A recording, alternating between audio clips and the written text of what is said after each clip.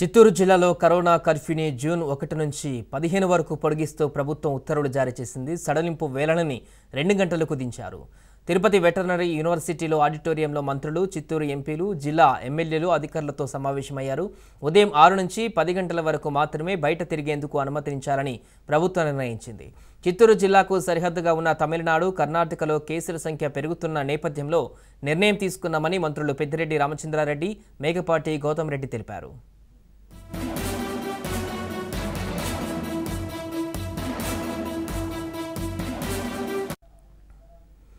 చిత్తూరు జిల్లాలో జూన్ ఒకటి నుంచి పదిహేనవ తేదీ వరకు లాక్డౌన్ పొడిగింపు. ఉదయం ఆరు గంటల నుంచి పది గంటల వరకే రహదారులపై జనం సంచరించడానికి అనుమతిని కల్పిస్తూ ఉత్తర్వులు జారీ చేశారు.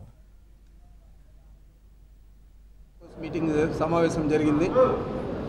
చాలా వరకు గత సమావేశంలో ఏదైతే ప్రజాప్రతినిధులు కలెక్టర్ గారి దృష్టికి తీసుకెళ్ళారో వాటిని అన్నింటినీ కూడా యాక్షన్ టేకన్ రిపోర్ట్లో వారు పూర్తి చేసి చెప్పడం జరిగింది. అదేవిధంగా ఈరోజు కూడా కొన్ని సూచనలు చేశారు.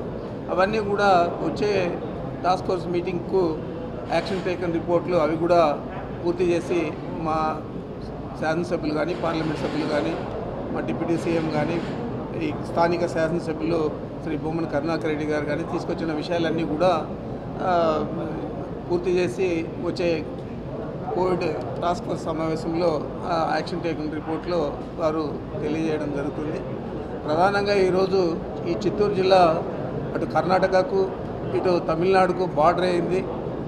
కర్ణాటకలో కానీ తమిళనాడులో కానీ మనకంటే ఎక్కువగా అక్కడ ఉన్న కోవిడ్ నైన్టీన్ ఉన్న దృష్ట్యా మనం వారిని మన జిల్లాలో అన్నీ కూడా చెక్ పోస్టులు అన్నీ ఏవైతే ఉన్నాయో ఇప్పుడు అందుబాటులో వాటన్నిటిలో కూడా పూర్తి స్థాయిలో అక్కడ చెక్ పోస్టులు పోలీసుల ద్వారా నిర్వహించి ఎవరిని కూడా రానివ్వకుండా ఒకవేళ ఎవరైనా రావాల్సి వస్తే పర్మిషన్ ఉంటే మళ్ళీ కోవిడ్ టెస్ట్ చేయించి వారికి పాజిటివ్ లేకపోతే తప్పకుండా మన జిల్లాలోకి అనుమతించాలని చెప్పి నిర్ణయం చేశాం